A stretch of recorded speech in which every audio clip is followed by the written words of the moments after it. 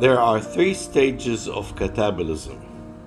Stage 1, which occurs primarily in the intestinal lumen, involves the digestion of dietary components, polysaccharides, proteins, and triacylglycerols into their building block components, uh, glucose, amino acids, fatty acids, and monoacylglycerol, respectively.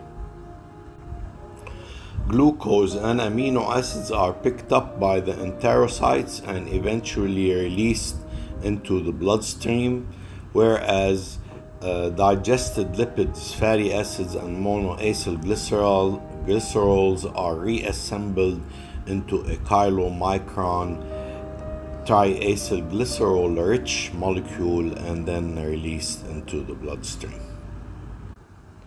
After their pickup from circulation, glucose, amino acids, and fatty acids are catabolized inside the cell, either in the cytoplasm or the mitochondria, to produce high energy molecules.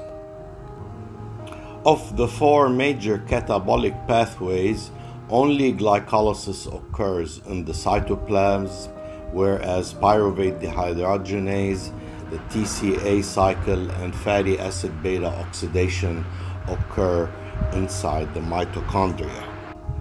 The NADH and FADH2 produced by the three mitochondrial catabolic pathways will be present in the mitochondrial matrix and will be directly accessible for the third stage of catabolism, uh, uh, which occurs inside the inner mitochondrial membrane.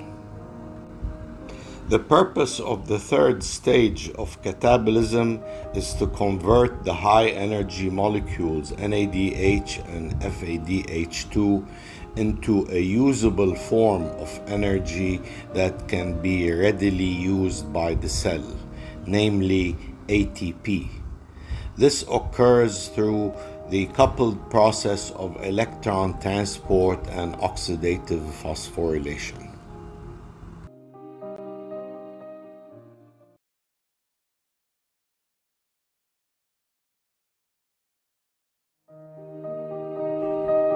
If you like this video, please subscribe. Thank you.